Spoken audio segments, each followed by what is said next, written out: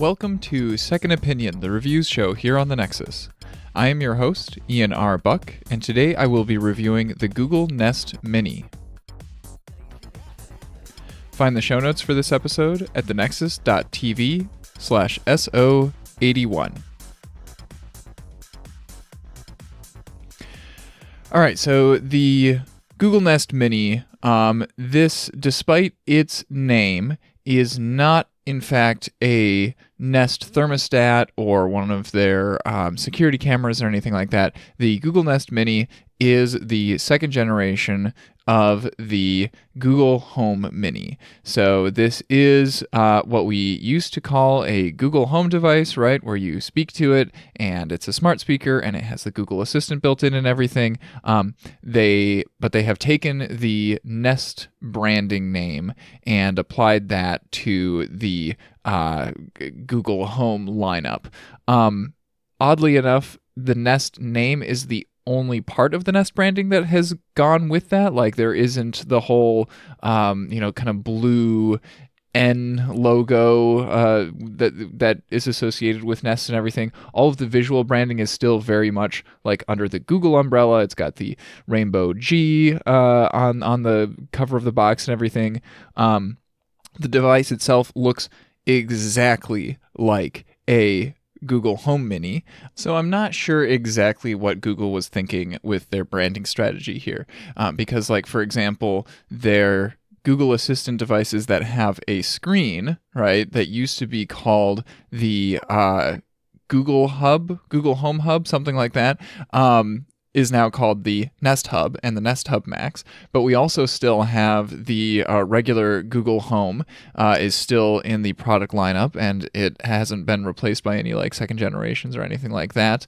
Um, that's the one that looks like a, an air freshener, uh, and then there's also still the Google Home Max, which is the giant rectangular speaker um, that uh, has you know a lot of power behind it, and uh, and that one hasn't been replaced by a second generation either, and both of those are still known as Google homes. Um, but then we also have all of these other Nest named Google Assistant devices that are out there as well. But this is Google branding that we're talking about, so I suppose I shouldn't be uh, too surprised here. So, like I mentioned, it looks physically very, very similar to the original Google Home Mini. If you're just, uh, you know, examining them sitting on a table next to each other, um, they you, you won't notice a difference at all. They both have the same uh, kind of cloth covering over the top. Um, they both have their microphone uh, mute switches in the exact same place. Um, if you look all the way around on the backside, you will notice that uh, one of them uses uh, micro USB. The Google Home Mini used micro USB for power, um, but the Google Nest Mini uh, uses a proprietary, like little circular tip uh, for for power. This is the kind of like um, power cord that you would uh, expect to see on like a netbook charger from like 10 years ago or whatever. I do think that this is a step in the wrong direction. Um, I have been wanting everything in my life to uh, draw power over USB C. Um, that didn't happen here. But also, I mean, the, the Google Home and the Google Nest minis um, are devices that just sit on a shelf and are plugged in all the time. So it doesn't ultimately matter that much what kind of charging port it uses, uh, unless something goes wrong, like the the cat chews through the power cord and you need to replace it or whatever. So yeah, I don't think that this is the end of the world.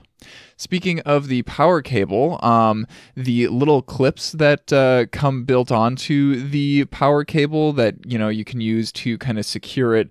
Um, it, if it, if it's too long for where you have the Google Home, or see, I can't stop calling it the Google Home, the Google Nest Mini. Uh, if the cord is too long for where you have it sitting relative to the nearest uh, outlet, um, you can you know coil up the cable and use uh, some of these clips to to um, secure you know those those lengths of cable into a nice coil.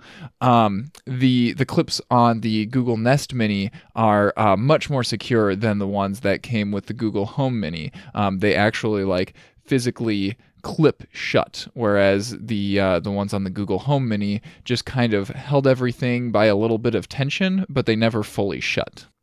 Another improvement for the physical build of the Google Nest Mini is that it has a little screw mount built onto the bottom of it so that if you want to mount it onto your wall, uh, you don't have to buy like a $15 wall mount uh, to go with it. Um, I did test it with the wall mounts that I have from my Google Home Minis, and uh, it fits in those as well. So whichever direction you want to take this, whichever approach, um, either one will work. You you could either just use a screw and use that one screw to uh, mount it on the wall, or you could use an existing wall mount. All right, let's move from talking about the physical build to some of the software aspects. Um, when I first plugged it in and it turned on, I noticed that it has a different startup chime. It still is kind of in the same realm as the Google Home Mini's uh, startup chime was. Sounds just a little bit nicer, and I found it rather delightful.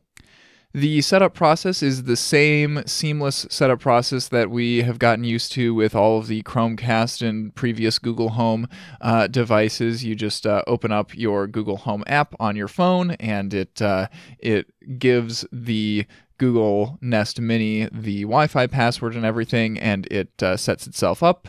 And uh, and if you've never had a Google Home device in in your house before, then um, you'll probably have to go through a little bit more setup. But for me, um, already having all of these in my house, uh, I it, it, was it was you know I just added it to the existing home, told it what room it was in, um, and uh, we were off to the races. Now, being that this is a Google Assistant device, um, all of the like voice activated controls and abilities are going to be exactly the same as any other uh, Google Home device that you expect. Um, I'm not going to get into that a whole bunch here in this review. Um, if you if you are trying to choose between the Google Assistant and some other smart assistant uh, platform, you know um, go go research a, a little bit more uh, through some other reviews. Um, but here we're just reviewing the hardware of the uh, Google Nest Mini. The controls for the Google Nest Mini are pretty similar to the Google Home Mini with uh, one significant improvement. Um, so it has a physical mic switch on the outside, uh, just like the Google Home Mini did. Um, you can tap on the left and right sides of the device to adjust the volume. Um, and this time it has like little lights that actually uh, light up on those sides of the device, um, which was pretty delightful. And now you can also tap in the middle of the top of the device to play or pause, which is awesome. This was supposed to be a feature on the original Google Home Mini, um, but if I remember correctly, there was something something going on with like the um, units that they sent out to reviewers and journalists that uh, people discovered that like it was it was listening when it wasn't supposed to, and um, Google traced the problem to the like physically tapping on the top of the device uh, control that you know normally would um, play and pause and you know make it stop listening um, and and that wasn't working properly so they just disabled that feature for all of the units. Um, but I guess they got it right this time. Um, and uh, so now you can tap on the middle of your uh, Google Nest Mini to uh, play or pause any any media that you've got playing back. Speaking of playing back media, the sound quality. Um, I set this uh, device side by side with a Google Home Mini to do some comparisons and had them playing the same music, and I just alternated it between the two devices. Um, and I definitely have to say that it sounds slightly richer than the old Google Home Mini. The Google Home Mini was a, a little bit treble heavy, um, and uh, the the Google Nest Mini has just a little bit of added bass um, that makes it sound uh, just a little bit more full, a little bit more rich uh, in the sound quality department. It's not like you know a, a uh, game changing difference, but it is enough to uh, be noticeable when you are playing back the same music side by side between the two devices. And lastly, let's talk about the microphones on this device. Um, I didn't have any trouble in my testing getting it to hear my voice or understand what I was saying. Um, I had it sitting next to a Google Home Mini uh, just for comparison's sake, and uh, both of them picked me up um, in all of the same circumstances. Um, and actually, um, you know how all of the Google Home devices, if multiple devices in the same household like hear you at the same time, um, they will kind of coordinate with each other and determine who hears you better and and you know which one of the devices should respond. Um, the Google Nest Mini was always the one that got to respond to me, um, which uh, to me means that it it has a slightly better microphones um, and was able to hear me a little bit better uh, in every single case. You know, no matter what other media was playing back or um, you know what other background noise there was uh, it was always able to hear me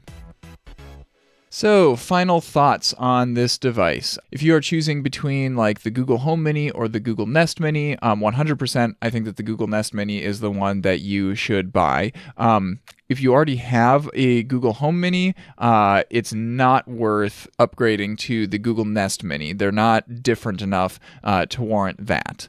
Um, but uh, yeah, I, th- I think th- this is a good kind of iterative step forward um, for the Google Assistant line of devices um, that uh, that we have in our homes. Thanks for listening to this episode of Second Opinion Reviews. I have been your host, Ian R. Buck, and you can find me on Twitter as Ian R. Buck. This episode of Second Opinion is released under a Creative Commons attribution license, so feel free to use any part of this episode as as you see fit, uh, as long as you link back to the original page, which once again is thenexus.tv slash SO81. If you would like to discuss this episode with other listeners, please go to our subreddit at reddit.com slash r slash the Nexus TV. And if you are willing and able to support us financially as we continue to make technology focused podcasts, you can join us on Patreon at patreon.com slash the Nexus TV. And uh, speaking of Patreon, we have something pretty special going on. Um, so, this Google Nest Mini that uh, was shipped to me by Google for free because I am a Google Fi subscriber. Um, they've thrown so many Google Home Minis and Google Nest Minis at me for free that I have actually run out of rooms in my house to put them all in. Uh, so this one that I was uh, testing out for just a few days um, in order to do this review. Now that I am done with the review, I'm going to be giving it away to one random supporter on Patreon. So if you want to be a part of this drawing, um, make sure that you join us on Patreon. We'll be doing the drawing in three weeks' time. So today, the day that this episode is published, is January 26th, 2020. Um, so in three weeks, on February 16th, we will be uh, choosing who wins the Google Nest Mini, uh, and then we will announce it on uh, February 22nd or 23rd um, in episode 83 of Second Opinion. Um, and we'll also contact the person who won it, of course. All patrons at all reward levels are uh, eligible for this, and uh, and remember, you don't have to continue to be a patron uh, long term in order to win this. You just have to um, sign up on Patreon, uh, even if it's just for a one-time donation. Your odds of winning are, of course, dependent on how many people uh, support us on Patreon. But since we have a fairly small audience here, uh, I'd say that your odds are pretty good if you join us. Once again, that's patreon.com slash the Nexus TV. Until next time, have a good one.